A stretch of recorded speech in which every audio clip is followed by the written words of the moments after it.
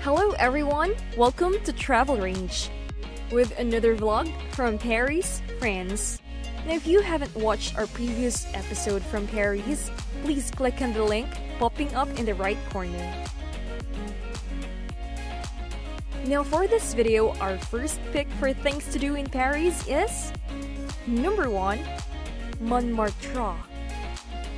Sacré-Cœur, the Basilica of the Sacred Heart of Paris, is located in Montmartre, at the highest point in Paris. It rises 82 meters tall and construction began in 1875. At the front, you'll discover two sculptures.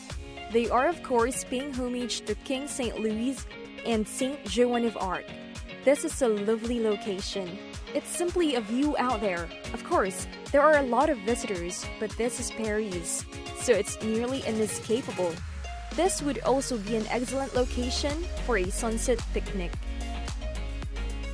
If you're a clever traveler, go to a boulangerie and acquire some bread, wine, and cheese before returning here for the greatest views in town. There have been many notable painters that have lived in this area. Among them are Monet, Renoir, Toulouse-Lautrec, and even Picasso. You'll adore this neighborhood since it has a great, calm, friendly feel. If you really want to appreciate it, simply pull up a seat at one of the cafes around. Have some coffee, beer, or anything you like. Number 2 Creatures. If you're like me and enjoy rooftop vistas, then the top of galleries of Lafayette is the place to be. However, if it's a hot day, we don't advocate sitting outdoors.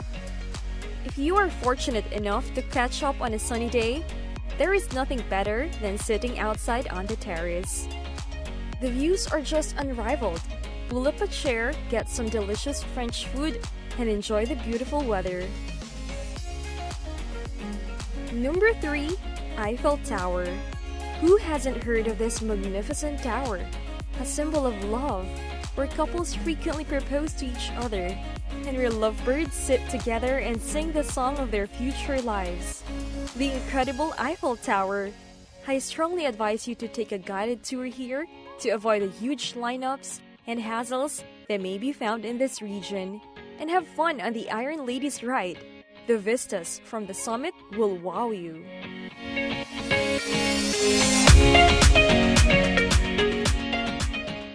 However, if you have children or family with you, or if you have back pain, it would be preferable to struggle downstairs in the lineups.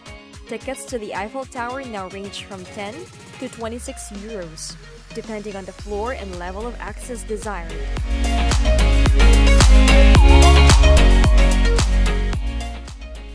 You must be exhausted after the journey.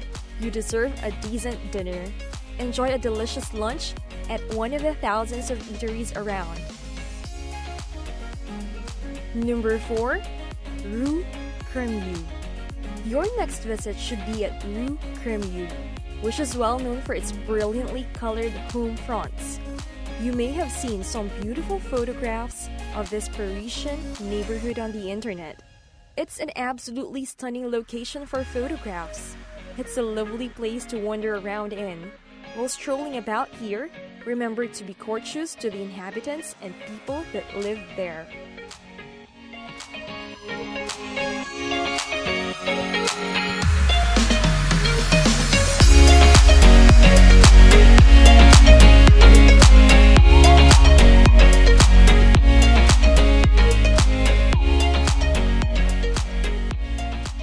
Number 5 Atelier de Lumières. Atelier des Lumières is an immersive art show, which means that they bring artworks to life. And I truly knew that. It's amazing. It's not simply photographs of the artwork splattered on the walls. They've been disassembled and trimmed down. placed to music, and some have been animated, and it's wonderful.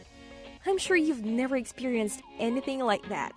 It's a really intimate place where you just kind of take a seat or sit on the floor and they display everything around you. It's really immersive, enjoyable, and gorgeous. If it's a hot day outside, that's a great place to be.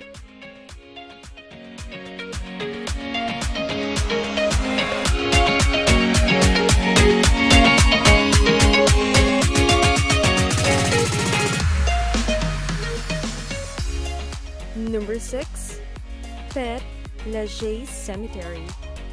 This is not just Paris' largest cemetery, but also one of the most famous in the world. It is located in Paris' 20th district. It draws hundreds of thousands of tourists from all over the world to various people's graves. It also contains three World War I memorials. Back in 1765, the law prohibited the establishment of cemeteries in town, but Napoleon Bonaparte decided that every citizen, regardless of race or religion, had the right to be buried. Jim Morrison, Jean Moulin, Oscar Wilde, and many others are buried at this cemetery. Number 7 Grand Palace. The Grand Palace is located directly across from the Petit Palace and is one of the most stunning structures in the entire nation. It also serves as a venue for numerous prominent trade shows, art fairs, sporting events, and cultural events in Paris. The Pont Alexandre III and Avenue Winston Churchill are part of this grand palace. After touring this palace, you will be persuaded of the nation's intellectual and cultural importance. Number 8 Meal at Soya Cantine Bio. In Paris, there is no shortage of cafes, bistros, restaurants, and other delectable dining establishments. I found some fantastic images of tourists visiting this location, as well as outstanding restaurant reviews after scrolling down on the internet. So give it a shot if you're looking for something unusual and some delicious vegetables. Order some soya balls, curry, and grilled vegetables with rice. The cuisine will astound you.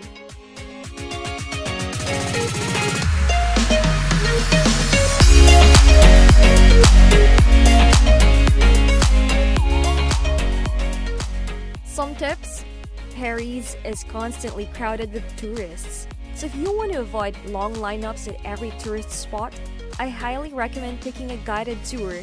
Make sure you purchase your tickets in advance. Have some sunblock on hand, bring lots of water, and wear comfortable shoes. More essential, plan your tour ahead of time.